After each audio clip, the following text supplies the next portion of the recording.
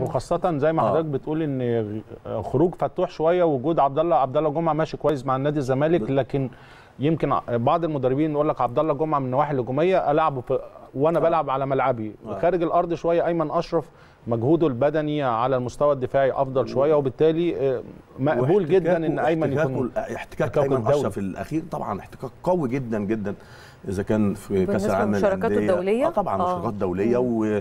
ودوري الأبطال فطبعا هي... هيعملها بشكل قوي جدا بالنسبة لل... للاختلاف طارق حامد و...